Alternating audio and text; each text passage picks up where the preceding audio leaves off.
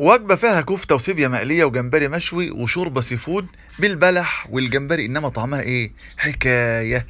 آه وبلح بحر برضه بزيت وليمون طحينة سنجاري رز عيش برضه فيها كابوريا أحيانا. بص بص بص يا سلام الله.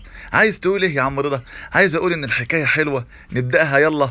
بلا إله إلا الله محمد رسول الله صلى الله عليه وسلم. في التعليقات نحط like للفيديو وتعالوا نعمل الوجبة ديت ونشوف هتطلع عاملة إزاي. أول حاجة معايا كابوريايه نتاية كبيرة أربع عيدان جمبري فريش بلح هنعمله برضه بزيت وليمون على الجريلا والسنجاري. التتبيلة بتاعته المميزة بتتعمل بطريقة حلوة هنحط شوية صوص وشوية خلطة. إحنا عايزين نعرف يا شيف رضا السنجاري ده بيتعمل إزاي. هقول لحضراتكم الفيديو إن شاء الله هينزل. طريقة السنجاري إيه وطريقة التتبيلة وطريقة الصوص كله. في فيديو واحد إن شاء الله هنتكلم عنه.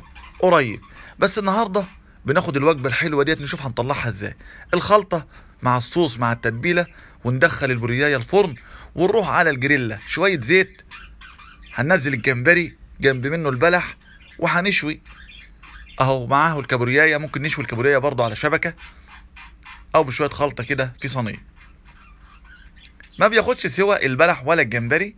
على طول كده بنقلبه. وبعد كده هنحط التتبيلة.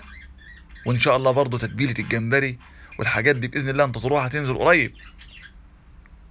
طبعا حطينا الخلطة بعد التتبيلة. البلح بالزيت وليمون هنديله شوية زيت وليمون دلوقتي. أهو. التحبيشه بتاعتنا الحلوة. وده الصوص اللي بنحطه المميز للجمبري. هنروح بقى للبوريايه نبص عليها ونشوف شكلها عامل إزاي.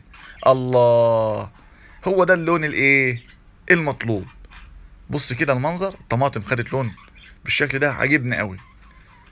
ندي لها برضو نكمل سواها كده على الشوا... البوري بقى يا جماعة وما أدراك ما البوري. السمكة استوت هنغرفها على الطبق ونشوف الشكل النهائي عامل إزاي.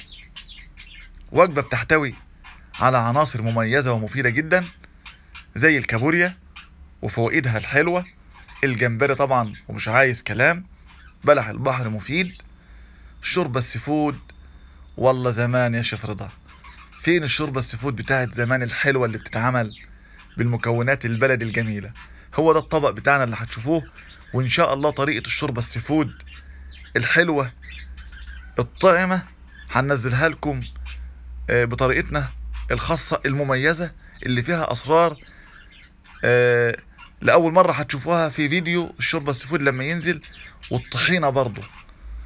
برضو فيديو الطحينة بإذن الله بدعوكم كده للاشتراك في القناة. آه، اعملوا متابعة ويا ريت تفعلوا الجرس للكل عشان لما ينزل الفيديو يجي لكم إشعار وهتشوفوا أحلى وأجمل شوربة seafood وأحلى وأجمل طحينة تقدروا تعملوها في البيت بكل سهولة. بص بص بص كده أهو رز الصياديه ليمون العيش المميز الكفتة حاجات جميلة حلوة وطريقة الشوربة ال seafood. لما الفيديو ينزل إن شاء الله بإذن الله الفيديو ده هيعجبكم قوي انتظروه. وما تنسوناش بقى كده ب like وتعليق حلو وقولوا لي إيه رأيكم. أشوفكم على خير إن شاء الله. والسلام عليكم ورحمة الله وبركاته.